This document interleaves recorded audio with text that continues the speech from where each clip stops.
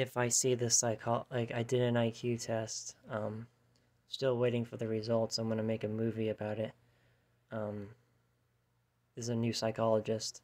If I see this new psychologist for future therapy sessions, I want to ask him, do I have schizotypal or at least some kind of undifferentiated schizophrenia or some kind of mild psychosis or something? I know there is haters and trolls that think I'm faking mental illness or that I want to be mentally ill, and I'm not going to respond to them.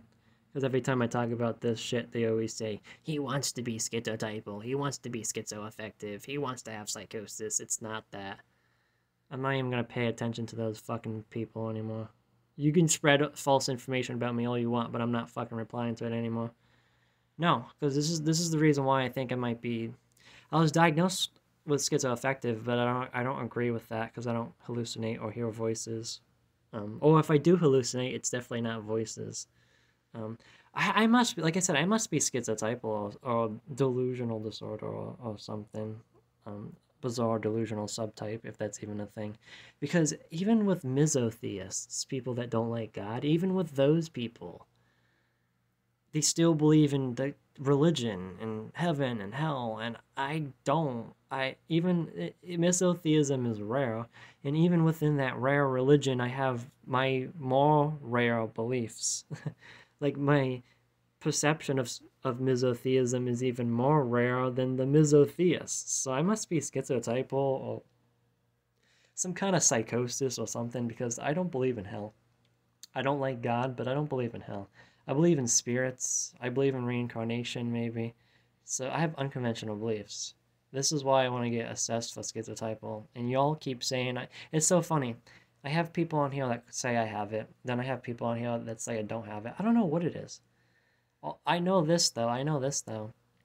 If my psychologist does not think I have schizotypal personality disorder, then it's definitely multiple complex developmental disorder. I'm kind of like on the edge that it is multiple complex, anyways, because I was filling out this assessment before I got my IQ test. I was filling out this assessment of mental disorder traits that I have, and I basically have everything. I have, I checked off sociopathic traits. You know, I got in trouble with the law and stuff. Um, I have magical thinking, I have attention issues, I have social issues. I basically so if it if I don't have schizotypal personality disorder, it's probably multiple complex developmental disorder, which you can't get diagnosed and the U, the USA does not recognize it anymore or at all, but I think multiple complex developmental disorder makes more sense because I was born with schizotypal, you know, childhood schizotypal um schizotypal personality disorder is not childhood schizotypal, but for me, I had childhood schizotypal.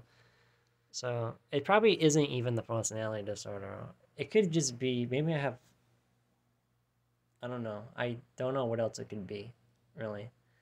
Undifferentiated schizophrenia, maybe, maybe childhood schi- um child. What about childhood schizophrenia? Uh, no, because no hallucinations, like no voices, you know. I don't I don't know what it is. Like there might not even be a label for what I have, but I definitely have something where I have unconventional beliefs. It could be possible that it's not a mental illness because I always no, I didn't always believe. Um, ever since I gave up Catholicism, being a Catholic, ever since I gave that up, well, I went to devil worship and then I gave that up. After all that, I started I started to believe in a vague God and a vague afterlife. And I thought it was a mental illness until I started doing near death experience research, and there's a lot of near death experiences that talk about a vague God and a vague afterlife. There's a lot of people that come back to life that say that they don't even believe in their religion anymore. They worship energy and the source of, you know, the spirit, you know, the, the, the, the, creator spirit, the spirit creator you know. I know that sounds schizotypal, but I don't know what the fuck I have. I'm going to ask him.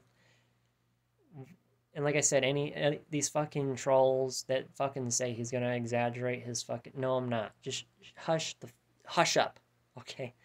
I don't know what it is. I really don't know. It might not even be schizotypal personality because I don't act weird. YouTube is just I'd say I exaggerate my behavior on YouTube, but not to exaggerate being schizotypal. I exaggerate my behavior on YouTube just to be funny, but not just, but not, I'm not exaggerating mental illness on YouTube. I'm exaggerating me being funny and my personality. I don't know what it is though. I don't, I, I only relate to schizotypal with the magical thinking and beliefs and the paranoia and maybe the speech problems like i have vague speech and, and t- I get off topic a lot and i go back on the topic sometimes. That could just be there's also disorganized schizophrenia which i don't know that probably is not me. The whole point of disorganized schizophrenia is, is that you don't have delusions or hallucinations. That's and i'm not disorganized enough. But i always i always related to that as well disorganized schizophrenia even though i'm not as severe as it talks about. I have some kind of schizo something. People could say maybe you're just autistic uh, no. People with autism don't believe in magical stuff. I don't know what it is. I think it, it the more I think about it, I think it really is just multiple complex developmental disorder. Because you look at, you go on Google Images, when you look it up, it says, it shows, I, I made a video about it. It shows a diaphragm or it shows an image, uh, there's an image that shows, on the left it shows autism spectrum disorder. On the right it says schizophrenia spectrum disorder. And then in the middle it says schizotypal. I'm not even fucking joking. Um, and then some um, websites do mention schizo- childhood schizotypal, so maybe it's just that, you know. Because multiple complex developmental disorder on the NCBI website, that's what the website is.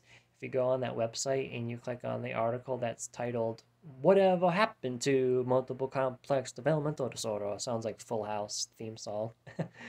Um, you read the symptoms and it says bizarre ideas, irrational ideas, illogical ideas, or something like that. Magical thinking, that's what it says. That's probably what I have, truly.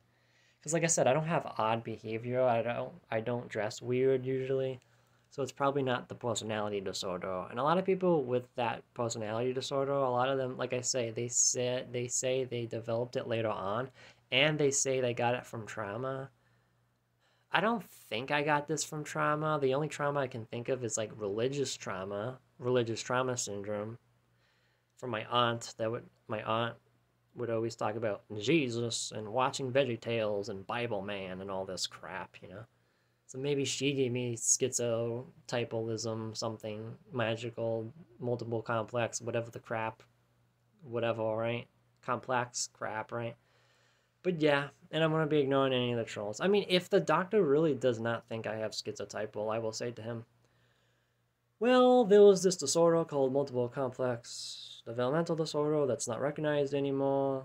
I told this is what I said to I I said that my last doctor I saw I said this to him. The last the last doctor I saw, I said this exactly or not exactly, but I said to my last doctor, um, well, the doc my last doctor never talked about schizotypal but he just refused to diagnose me and then i just got with anything and i just got fed up and i said well it has to be multiple complex developmental disorder it's not recognized anymore but it has to be it just has to be bruh just has to be that you know?